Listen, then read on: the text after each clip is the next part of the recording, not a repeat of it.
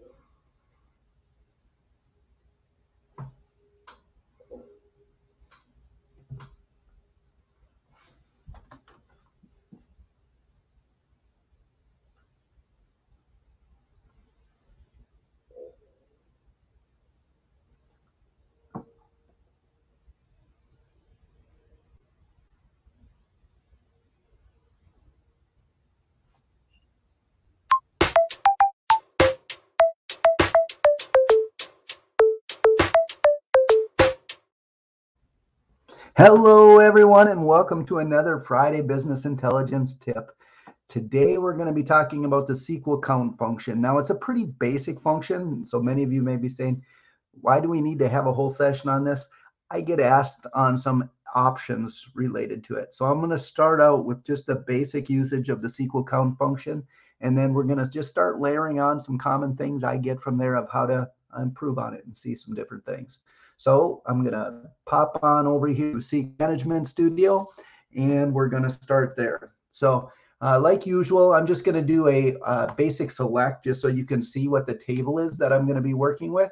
And so I'm going to use a table I've used in many other sessions that I've done called GL names, which is uh, for those of you that use Lawson or Infor, uh, it's the table that they define cost centers or account units as some people uh, call them and they refer to them.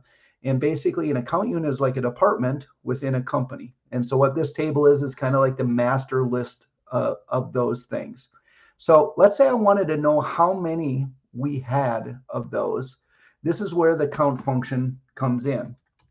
So, all functions in SQL, you give it the name and then a parenthesis, and then you can add arguments to it. Now, what the count function uh, takes from SQL Server is how many um, or what fields am I counting? And in the case of an asterisk says, just give me a count of all the records that are there. So if I execute this, it tells me there are 190 records in that GL names table. So that's the total count.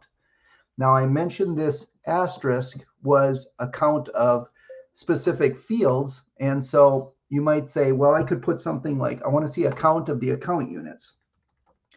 Now, an account unit, as I mentioned, was like a department within a company. And it's saying there's 190, which is the same exact number.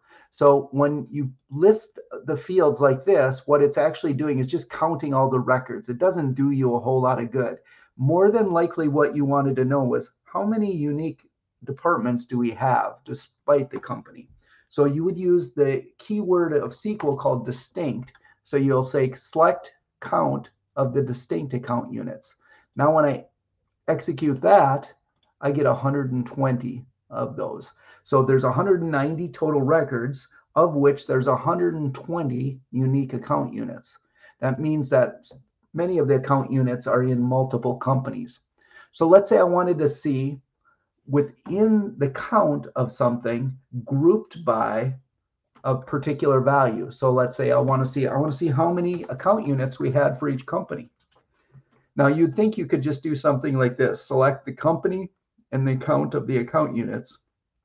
And if I execute that, it gives me a name that's or an error that says that the company is invalid in the select list because it's not contained in an aggregate function or a group by clause. So what you need to do anytime you want to see things grouped together is you need to add a group by clause. And I've showed this in other uh, scenarios before where we were doing sum and some of those things. But if I say group by company and execute this now, it gives me a listing of all the companies and how many account units we had in each one of those companies.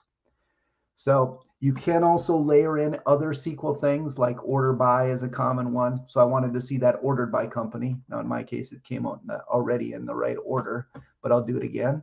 So select company, the count from GL names, group by company and order by company. So this is probably the most common scenario that I see out there as far as how people use uh, the count.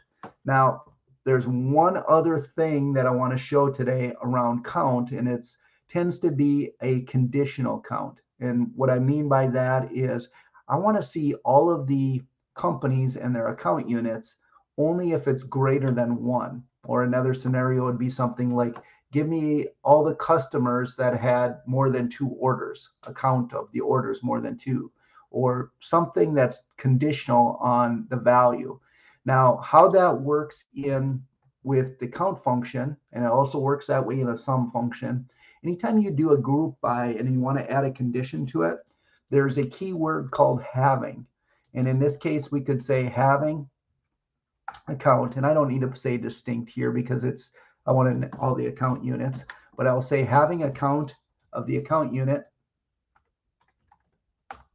greater than one. So it's going to group by company, but only in the case where the count is greater than one. So it should eliminate 100 and 901 from my results. So when I run that, 100 and 901 are now gone.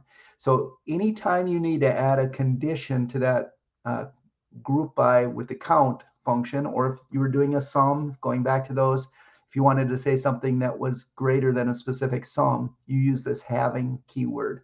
So group by having. Now, um, that is probably the most common scenarios around count that you would like. Um, if you have other questions around count, feel free to add those to the comments and I'll be happy to answer those uh, later. But that should get you around the most common scenarios around using count in SQL Server. Hopefully you enjoyed today's session and we'll try and get back on again next week and give you another tip of the week. If you do have additional suggestions, feel free to reach out to us and we'd be happy to do that. And you can send those uh, to, to info at dashboardgear.com. So info at dashboardgear.com and we'd be happy to cover a topic for you. Thank you for uh, attending today and we'll talk to you next